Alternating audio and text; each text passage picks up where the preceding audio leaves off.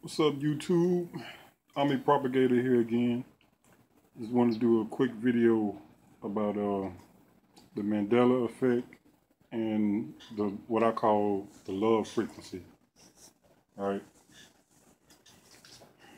So they tell us they tell us that the heart has an electromagnetic field that extends for like miles beyond the point of origin, which is our body, our heart.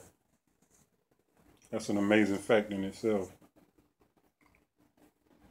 And I want to compare that to uh, a radio frequency, a radio signal, and how it it um how it broadcasts not only just the electric signal or the electric electric frequency, but it also broadcasts the voice and music along with it, even television. Right. So I went to school for electronics, and we had to read up on it on radio signals at one point. And uh, the way they explained it to us, they call it piggybacking. But basically, all it is is, you know, you have an antenna that's constantly like putting out an electric signal or electric frequency and all they do is they have devices and microprocessors and electronic equipment that adds voice and music to that electric frequency or electric signal.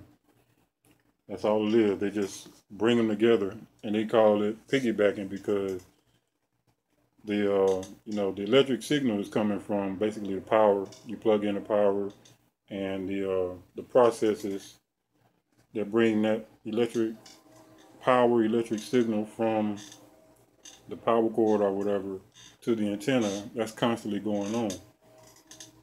But you add or piggyback the voice and music into the signal. You just like add it into the signal, and that just comes along with the signal uh, and the frequency. And I want to compare that to the heart.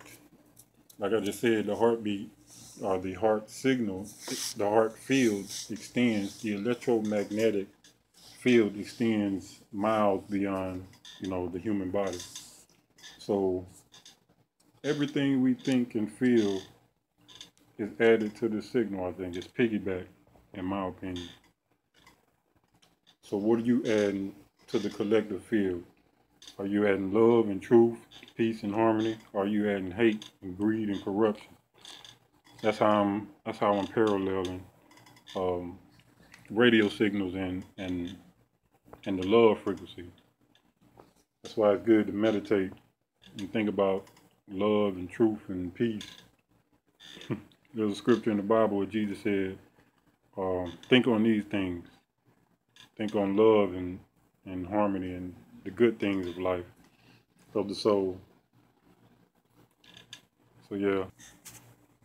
Now I want to parallel that to the Mandela effect. Let's think about how on a piano scale we have octaves and they all are just different frequencies of the same sound basically. Looking at the Mandela effect, let's just say that the people who are on our timeline have a frequency of say love and peace and and the timeline they came from that that uh, timeline they were stuck in a frequency of of deception and greed and corruption and hate, anger, all that bullshit. Uh, seeing how our bodies are energy, basically just energy, then it's kind of like changing the notes on the scale, you know. We, we could have been in, let's say, D flat, and because of our actions and choices, we moved up the scale to a, a C sharp or something like that, you know, just for example. That's how I'm parallel that paralleling that to the Mandela effect and the lower frequency. Just a little theory I got. Shout out to to, to all the deep divers out there. And shout out to all the people who try to keep love and peace in their mind and in their heart. I think it's cool that I'm connecting, or I'm seeing a whole a lot of connections of people who who got love in their heart on YouTube and the internet. But that's all I got for this video, y'all. Peace and love to the world. I'm out.